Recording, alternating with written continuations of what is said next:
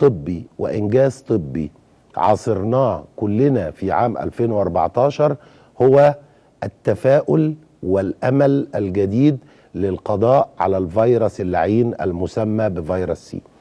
أنا فاكر ان أنا في يناير 2014 في أول العام عملت حلقة تحت عنوان مستقبل مشرق ينتظر مرضى فيروس سي. وقلت إن تفاءلوا لأن خلاص أخيرا اتفك لغز هذا الفيروس.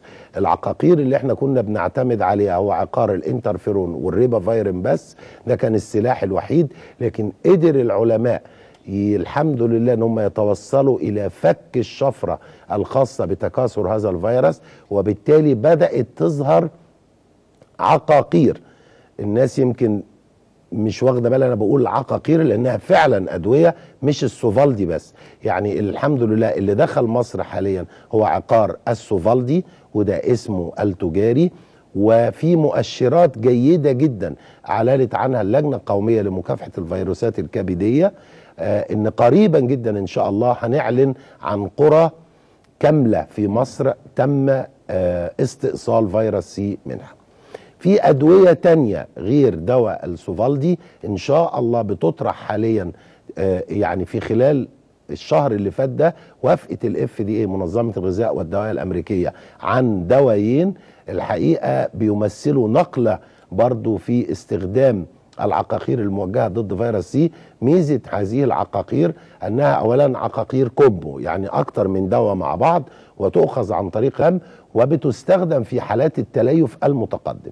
يعني إحنا لغاية دلوقتي يمكن السوفالدي متحجمين فيه سنة لأنه برضه بيستخدم معاه الإنترفيرون آه ففي بعض المحظورات على بعض المرضى اللي ما بنقدرش نديهم إنترفيرون. العقاقير الجديدة سوف تطرح في الأسواق خلال 2015 وهيبقى عندنا أكتر من سلاح ضد هذا الفيروس اللعين اللي استنزف كتير جدا من موارد هذا البلد الحبيب مصر. تفائلوا مرضى فيروس سي خلاص ما عندناش مشاكل خالص. آه السوفالدي في شركات مصرية هتبدأ في إنتاجه محليا وبلاش بقى حملات التشكيك. يقول لك أصله ده غير اللي موجود بره لا هي نفس المادة الفعالة اللي موجودة وهيصنع تحت إشراف المادة الشركة المنتجة الأمريكية الأصلية ليه. ونتائجه الحقيقة في العلاج الثلاثي. السوفالدي مع الانترفيرون مع الريبافيرين لمدة ثلاثة أشهر. النتائج مبشرة جدا بتعدي نسب الاستجابة المستدامة إلى ال 95 أو ال 97% أما العلاج الثنائي المعتمد على السوفالدي وعلى الريبافيرين بس اللي هي الأقراص لمدة ستة اشهر فنتائجها أقل شوية.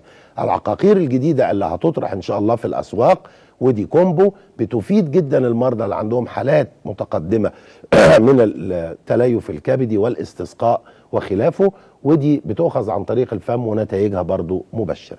يعني نقدر نقول إن وداعا عام 2014 ووداعا إن شاء الله برضو فيروس سي اللي كلفنا كتير جدا جدا جدا.